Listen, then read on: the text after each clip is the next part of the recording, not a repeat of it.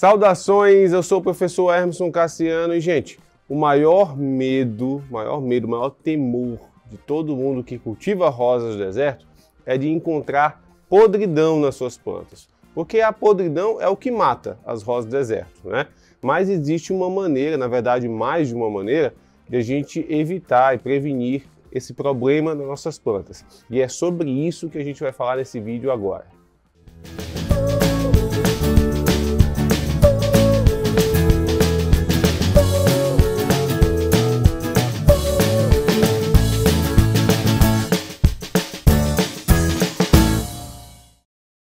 Olha, se você está chegando agora aqui no canal e ainda não se inscreveu aqui no canal, olha, aproveita, se inscreve, clica no botão de se inscrever e ao lado do botão de se inscrever você marca o sininho e assim o YouTube vai te notificar sempre que a gente publicar novos vídeos por aqui. Eu já te adianto, os vídeos novos aqui vão ao ar todas as terças e quintas-feiras no finalzinho da tarde e também nós temos lives todos os domingos às 8 e meia da noite.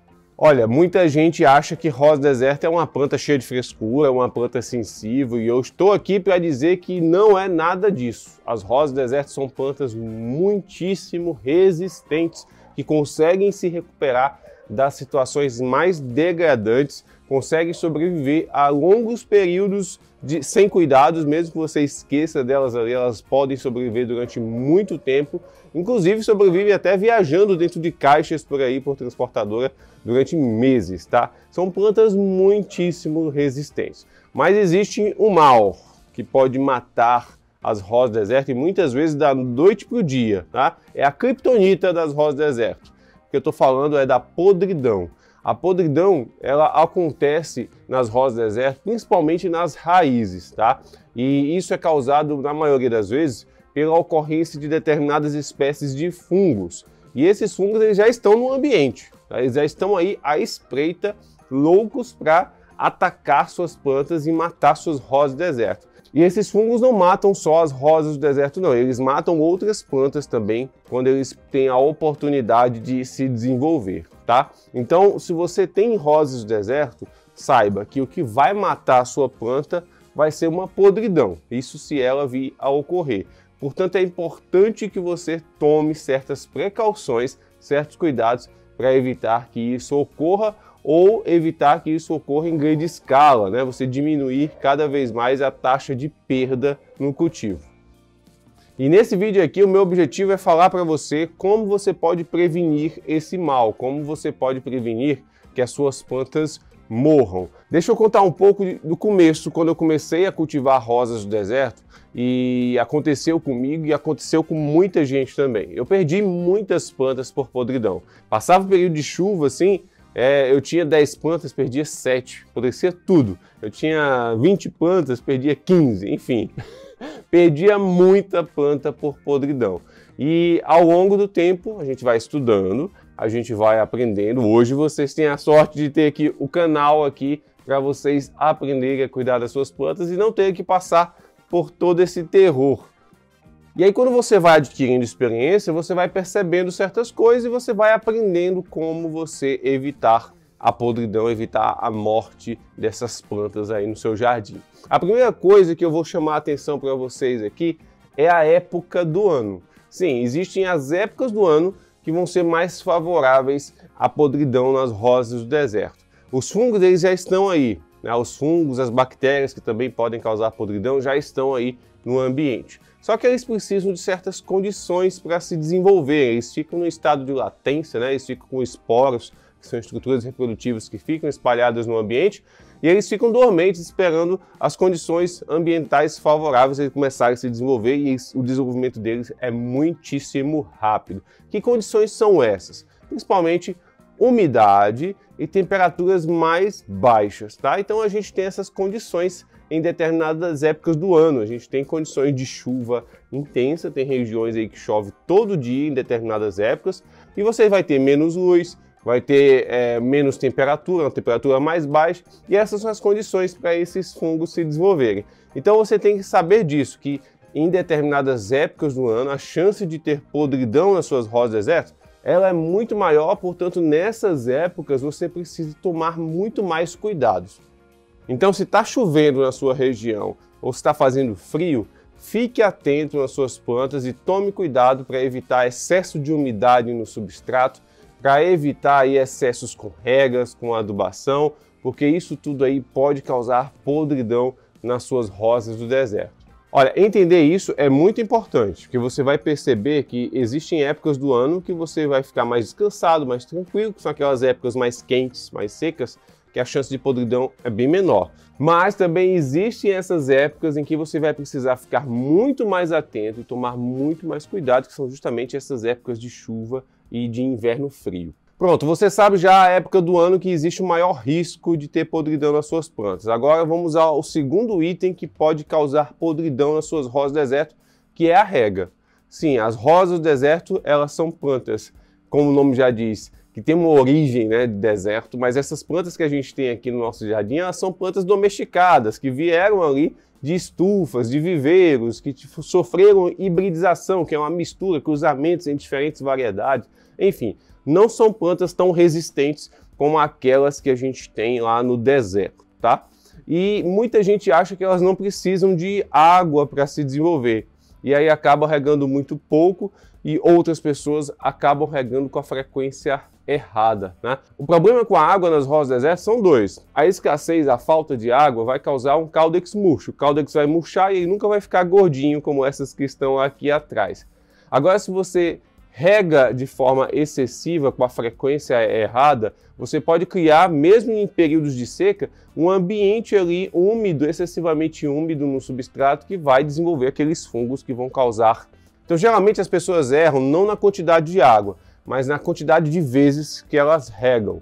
Então, se você for regar a sua rosa deserto enquanto ainda existe umidade no substrato, você vai causar uma podridão mais cedo ou mais tarde. Tá? Você deve regar somente quando esse substrato estiver 100% seco. Tá? E a regra deve ser abundante, você vai jogar muita água. Então não tem problema você jogar muita água nas suas plantas, desde que o substrato seja bom e desde que não tenha umidade ali. Tá? Então sempre que você for regar, use um regador, um chuveirinho, uma mangueira, regue a planta toda, molhe bem o substrato e você vai fazer essa regra de forma abundante. Tá? Agora, se você ficar regando repetidas vezes quando esse substrato ainda está úmido, é aí que mora o problema. É aí que você vai causar podridão nas raízes e vai matar as suas plantas. Então não tem nada a ver com a quantidade de água, mas sim com a quantidade de vezes que você vai regar aí ao longo da semana. Isso quem vai editar é o clima da sua região. Né? E quanto tempo leva aí para o seu substrato secar no clima aí da sua cidade. Aqui, nessa época, o substrato seca todos os dias, então eu estou regando todos os dias. Mas existem outras regiões que o substrato ainda passa dois, três dias ainda com umidade, então você vai regar cada dois ou três dias. Então vai depender do clima aí de onde você mora. Terceira coisa que você deve atentar para evitar a podridão, isso até leva um tempo, gente, olha, é perfeitamente normal, é o substrato. Tá? Então o substrato aí precisa ter uma ótima drenagem e muita gente acha que existe um substrato que seja o melhor, que é a pergunta que eu mais recebo: qual o melhor substrato para cultivar rosas do deserto? E isso não existe, tá? Eu costumo dizer, olha, qualquer substrato para plantas, para hortaliças que você encontre aí na sua região, você pode usar nas suas rosas do deserto, desde que ele tenha essas características de alta granulosidade, seja bem granuloso, né, com partículas grandes. Deixa eu pegar um aqui para vocês verem. Olha só, tamanho das partículas que tem nesse substrato, com casca de pinos, tem um pouco de chips de coco, né? Então é um substrato bem granuloso, partículas grandes. Então o substrato precisa ter essas propriedades. Ah, professor, o substrato que tem aqui na minha cidade não tem essas propriedades, mas você pode adicionar essas propriedades a esse substrato, adicionando ali até 20% de areia grossa de construção, adicionando ali casca de pinos, ou um carvão triturado. Se você adicionar só o carvão triturado, muitas vezes já resolve essa questão da drenagem aí nesse substrato, tá? Então não existe um substrato que seja o ideal. Existem as características que esse substrato deve ter e você agora sabe o que é, como é que deve ser e você só adiciona esses elementos aí se for necessário. Se esse substrato ele for muito fino, né, muito arenoso, muito fininho, ele vai ficar compactado com o tempo e toda vez que você regar, aquela água vai ficar empoçada aqui em cima. Essa água que fica aí empoçada é o que mata a sua planta, né, que vai causar o desenvolvimento do fungo, das bactérias que vão causar a podridão da raiz dela. Então a água deve sempre fluir, né, de cima para baixo quando você rega rapidamente. Regou aqui, ela rapidamente tem que ser drenada e sair aqui por baixo. Se ela fica formando uma piscininha aqui em cima, é um sinal de que esse substrato não está bom. E por fim, gente, você deve ter sempre em casa algum fungicida para plantas. Não adianta também me perguntar qual o melhor fungicida, porque isso não existe. você pode usar um fungicida caseiro com água oxigenada, né? 4 colheres de sopa de água oxigenada volume 10 para cada litro de água e borrifar nas suas plantas aí de vez em quando, tá? Ou pode comprar um fungicida aí na sua cidade, fungicida para plantas, tá?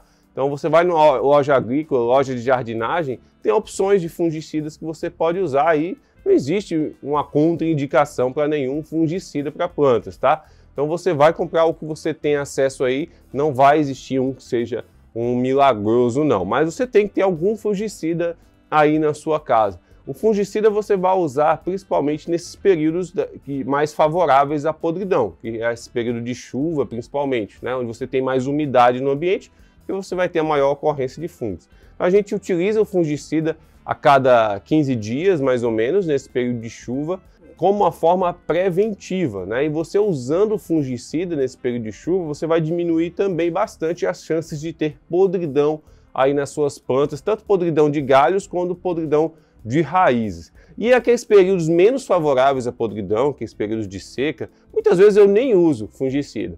Mas se você quiser usar, pode usar ali uma vez por mês, fazer uma aplicação de fungicida aí nas suas plantas. Mal não vai fazer. Mas é importante você ter esse fungicida e saber usar. E é importante saber qual a época que você deve usar com mais frequência, porque é essa época justamente que a sua planta corre mais risco, tá? Tá gostando desse vídeo aqui? Olha, deixa o seu like aqui, curta esse vídeo, compartilhe, se você ajude esse vídeo a chegar a cada vez mais pessoas. Por fim, gente, evite cultivar suas rosas desertas em vasos que sejam muito maiores do que aquela planta. Então, se você tem uma mudinha assim, coloque ela num vaso, permita crescimento, mas que não seja um, um, vaso muito grande. Eu não colocaria uma mudinha dessa numa bacia desse tamanho ou num vaso muito profundo assim, porque esses vasos muito maiores do que a planta, eles ficam com muita área de substrato ali no fundo, ali, retendo umidade, aquela umidade fica presa, as raízes nem chegam lá, e isso gera ali também os fungos que causam a podridão, tá? Então o vaso é interessante que ele nunca seja muito maior do que a planta. Que o vaso ele vai acompanhando, você vai fazendo replantios ao longo do crescimento das suas rosas deserto à medida que ela vai crescendo, tá bom?